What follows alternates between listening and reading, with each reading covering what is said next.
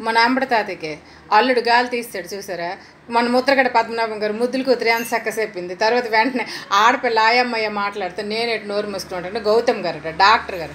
మరి డాక్టర్ అంటే ప్రాణం పోయడమే కాదు సమాజంలోని పేరుకి పైన కుళ్ళు కుశుద్ధం అవినీతి లంచకొండతనము వీటన్నిటిని కూడా బాగు చేయాల్సిన అసలు రోగులకు బాగు చేయడమే కాకుండా సమాజాన్ని కూడా బాగు చేసిన బాధ్యత నాకు ఉందని డాక్టర్ గారు చూసారు ఎంత బాగా మాట్లాడారు గౌతమ్ గారు.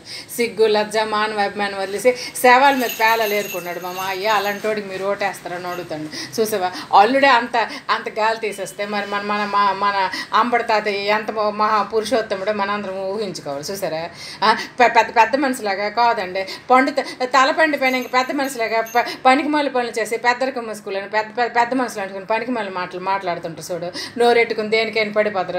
ఒక సమాజం అంతా ఆలోచించుకోండి. ఎలాంటి శతన కొడుకులకి మనం ఓటేస్తున్నామో మీరు ఒకసారి ఆలోచించుకుని ఓటేయండి అని అల్లుడే చెప్తున్నాడంటే మీరు ఊహించుకోండి. చూసారా? ముద్ర ముద్రగడ పద్మనాభం గారు కులాలు కులాలను ఎలగరచ్చగొడుతున్నారు మతాలను ఎలగరచ్చగొడుతున్నారు మన మన మన కాపు కాపు కులాన్ని ఎలాగ పెద్ద మనుషులు అని చెప్పుకుని ఎలాగ ఎలా పక్కతో పట్టేస్తున్నారు అని వాళ్ళ కూతురు ముద్దులు కూతురు ఎంత బాగా చెప్పిందో. ఇప్పుడు అంబటి రాంబాబు గారు అల్లుడు గారు కూడా అంత బాగా మాట్లాడారు. గౌతమ్ అంట పాపం డాక్టర్ గారు డాక్టర్ గారు కాబట్టి రోగులు బాగు చేయడం కాకుండా ఆయన ఇటు సమాజంలో ఎంతమంది రో మీ అందరూ మీ మిమ్మల్ని అందరినీ ఆయన భయపెట్టో లేకపోతే ఏదో మీకు ఆశ చూపించి ఆయన మిమ్మల్ని అందరిని మోసం చేస్తున్నాడు. నిజంగా ఆయన సమాజానికి పనికొచ్చే పని ఒక్కటి చేయట్లేదు అని అంత బాగా చెప్తాను చూసారా? కాబట్టి మీరు ఓటేసిన వాళ్ళు కళ్ళు తెలుసుకోండి కాదు మీరు డబ్బులు తీసుకున్నా లేకపోతే ఏదో ఒక ఓటు అనేది ఒక్క ఒకటే ఒకటి ఆయుధము.